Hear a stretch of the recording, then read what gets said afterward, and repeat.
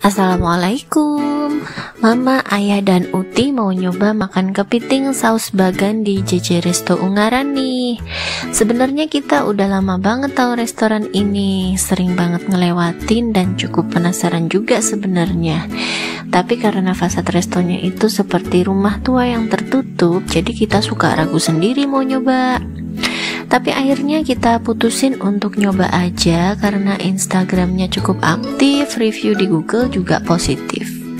Nah, kita udah sampai nih. Jujur li, kalau bukan pelanggan yang pernah makan di sini, untuk aku pribadi fasadnya kurang memanggil kita untuk mampir ya.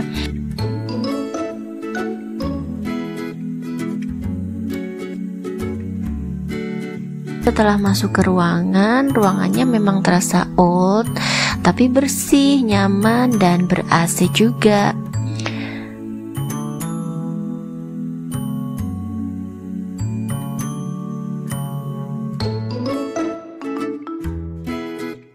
Pencahayaan dan pemandangan ke arah luar juga oke karena ada jendela besar.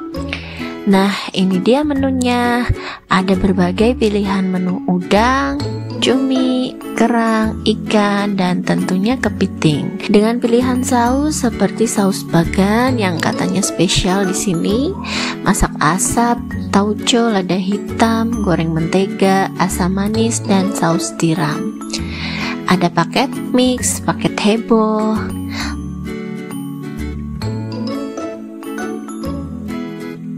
Selain seafood, ada menu lain juga bagi yang nggak suka seafood. Ada rujak bagan, aneka sup, nasi goreng, kue tiaw, dan lain-lain.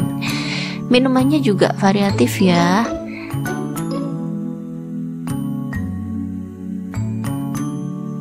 Karena khasnya di JJ Resto adalah kepiting, jadi ya kita nyobain kepitingnya. Kita nyobain kepiting yang size jumbo dengan saus bagan. Ini minuman yang kita pesen ada es jeruk, es teh dan air mineral. Pesanan kita udah datang nih ada simping goreng tabur bawang, kangkung terasi,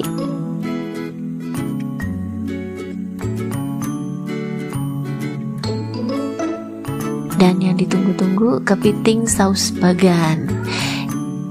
Ini dia penampakannya, kepiting jumbo isi dua ekor dengan saus bagan. Ini saus bagannya itu kecoklatan dengan cita rasa manis, gurih, bisa request tingkat kepedesan juga. Dan ini sausnya mantep banget emang. Dimakan pakai nasi juga udah enak. Sausnya melimpah tapi masih terasa kurang saking enaknya.